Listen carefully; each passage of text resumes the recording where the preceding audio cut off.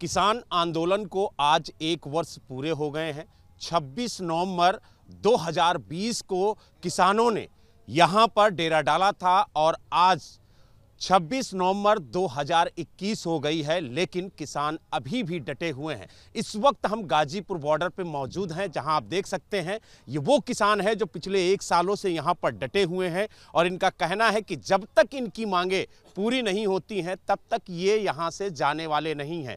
जबकि सरकार ने तीनों कृषि कानून को वापस लेने का ऐलान कर दिया है, लेकिन इनका कहना है कि जब तक एमएसपी पर गारंटी वाला कानून नहीं आता और जो इनकी छह सूत्रीय मांगे हैं, वो पूरी नहीं होती, तब तक ये गाजीपुर बॉर्डर से हटने वाले नहीं हैं और लगातार यहाँ पर डटे रहेंगे। आप देख सकते हैं, सुबह का वक्त है, किस तरीके से यहाँ पर चाय और पकौड़ी किसान चख रहे हैं और लगातार ये जो तस्वीरें हैं, पिछले एक सालों से देखने को मिल रही हैं कि किसान सुबह उठ करके यहीं पर भंडारे का लंगर चखते हैं, यहीं पे चाय नाश्ता करते हैं और यहीं पर डटे हुए हैं। कुछ किसान तो ऐसे हैं जो पिछले एक सालों से घर ही नहीं गए हैं, लेकिन आप देख सकते हैं कि ये वो किसान हैं जो एक साल से दिल्ली की सीमाओं पर डटे हुए हैं। हम इन्हीं से जानने की कोशिश करेंगे कि आखिरकार एक साल का वक्त बीत गया है। फिर भी आप लोग सीमाओं पर डटे हुए हैं। आखिर मांग कैसी है आप लोगों की? पहले आपने कहा कि तीनों कृषि कानून वापस हो जाएँ हम घर वापस हो जाएँगे लेकिन अभी भी आप लोग डटे हैं जबकि सरकार ने तो कह दिया कि हम वापसी कर रहे हैं तीनों कानूनों को। सर तीनों कानूनों के साथ एमएसपी पर गारंटी भी थी लेकिन सरकार ने एक ही बात मानी है। अभी 50 परसेंट हुआ है जी। अभी फिफ्टी परसेंट अभी बाकी है। जो हमारी मांगे हैं छः सूत्री मांगे हैं उसको मिला के भी लमसम बारह सूत्री मांगे और भी हैं छोटी छोटी जो मांगे हैं जी। अभी हम लोग एमएसपी पर गारंटी मांग रहे हैं जी। वो मिल जाएगी तो किसान उठ जाएँगे जी। तो यानी अभी आधी जीत हुई है आधी जीत बाकी है? बिल्कुल। अभी आधी जीत हुई है और आधी अभी जीत लेनी बाकी है सरकार से। जब तक वो नहीं मानेगी तब तक हम लोग जो है धरना नहीं उठाएँगे। आप बताइए बाबूजी क्या कहेंगे? एक साल से डटे हैं गाजीपुर पे।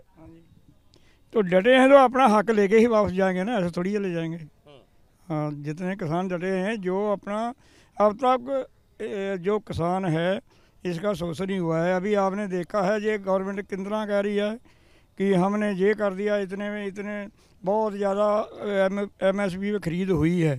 किसान का धान तो ग्यारह बारह सौ में ही बिका है। तो किसानों का दर्द अभी भी छलक रहा है। आप बताइए, आप क्या कहेंगे? इस आंदोलन में आप भी शरीक हैं, काफ़ी समय से लगे हुए हैं।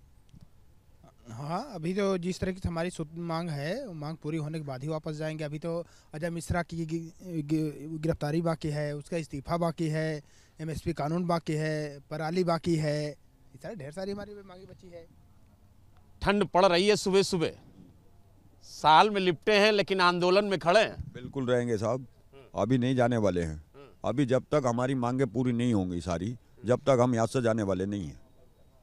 लेकिन ये कैसी मांगे हैं? पहले तो आप लोग कहते थे कि तीनों कानून वापस हो किसान घर वापस होंगे। लेकिन अभी भी आप लोग डटे अब तो कानून भी वापस होने की बात कही जा रही है। कानून वापस नहीं हम जिला बिजनौर से हैं।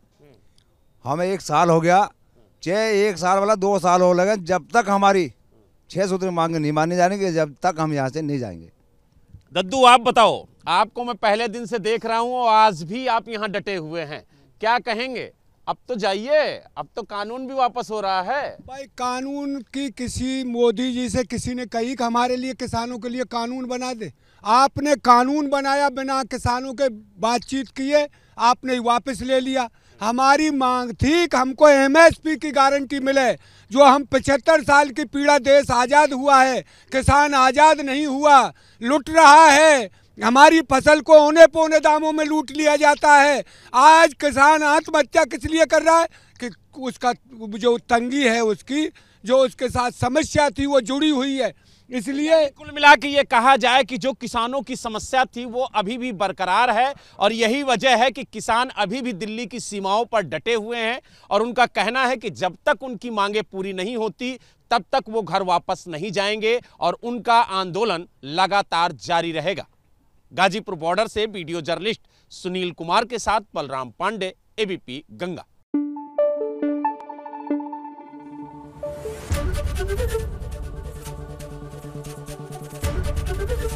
एबीपी गंगा, खबर आपकी जुबा आपकी।